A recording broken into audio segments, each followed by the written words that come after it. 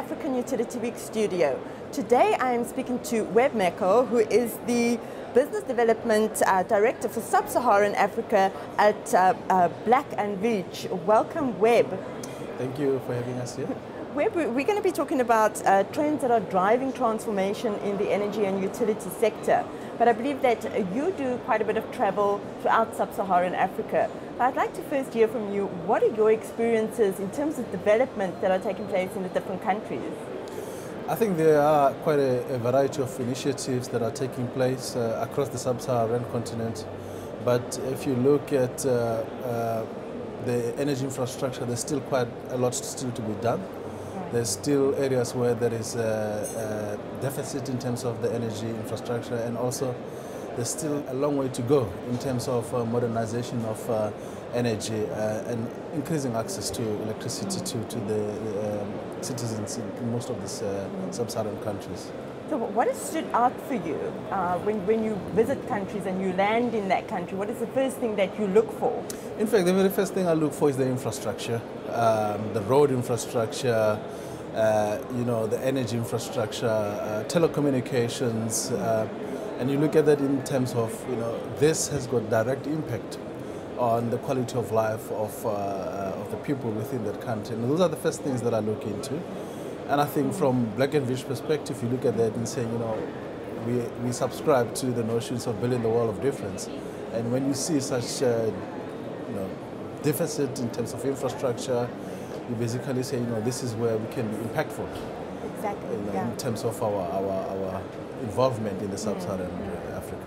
So, uh, what are the things that have stood out for you in terms of the challenges that these countries are grappling with? Are there uh, similarities between the countries?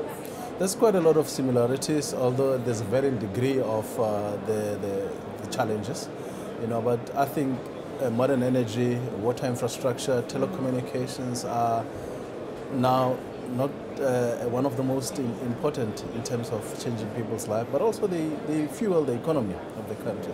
So when you are having uh, energy shortages, uh, poor quality of uh, uh, energy in terms of outages and power cuts, you know, you immediately would translate that into, you know, impact on the economy, impact on, on unemployment, you know, so those are the, the, the things that really stands out uh, when, you, when you visit the majority of uh, sub-Saharan countries. There's been a lot of talk about uh, off-grid development and mini-grids. Have you seen this taking place? Yes, uh, within Black and Veatch we have a distributed generation as one of our uh, business units and that uh, the objective of that unit is basically trying to develop power energy infrastructure that is modular, that is uh, uh, can be connected to the grid, can actually operate in island mode without necessarily being connected to the grid. We found that this type of energy uh, solutions tends to bring power much quicker because they're actually using a variety of energy generation modes such as solar PV, battery storage, wind, uh, they tend to actually make uh, the provision of power and building the infrastructure much quicker than conventional big uh, uh power facilities such as your big coal power plants or conventional uh, gas, gas, gas power plants. They can go as little as uh, 600 kilowatts to as big as 20 megawatts, you know, depending on the requirement of that load, determine what on, on also what's the intent of that load. But I think it's one of those solutions that will augment uh, the provision of power. They can work uh, in tandem with uh, your big bulk infrastructure, but they can also work uh, um, by themselves in an island, island mode. Some of them, they, don't, they can actually do black start, so they don't need the support of the grid to be operated. But baseload is still something that is going to be needed. Yes, baseload is definitely what we require, but these specific plants we can actually ensure that the load profile of these plants, based on the solutions that you're providing, can, can cater for base loads where you are, when you're employing a variety of uh, uh, power generation sources such as rotating machines. It can be diesel fired.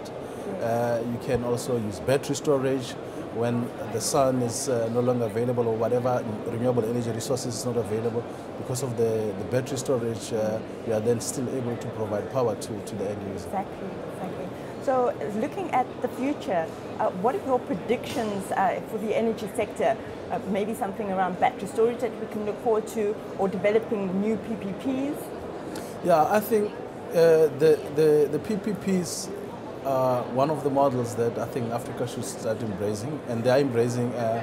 We're seeing uh, a lot of initiatives where independent power producers are coming into the countries, various countries, and they're actually developing uh, energy infrastructure uh, and with partnership with government and with partnership with the community within which they will be providing that specific power.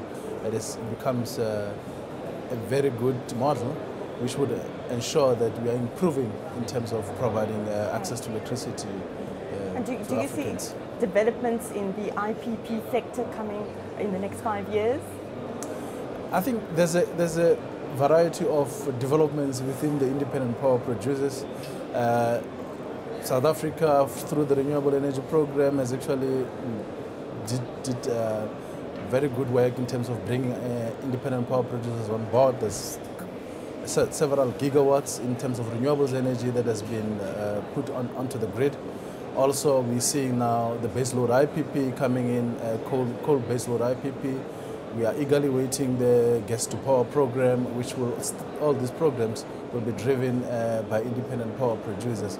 And we've also seen in uh, Zambia, in terms of the solar uh, uh, program, which is co-developed with the IFC, that uh, at least independent power producers are actually being brought into, into the market. So we are seeing liberalization of the energy sector where traditionally it used to be power utilities that are state-owned.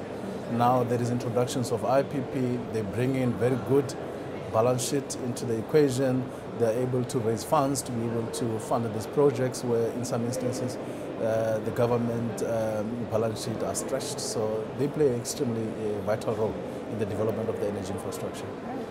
Thank you so much for sharing that with us, Webb. Thank you. Thank you for watching. I'm Nicolette Pombo editor of ESI Africa, coming to you from the African Utility Week studio.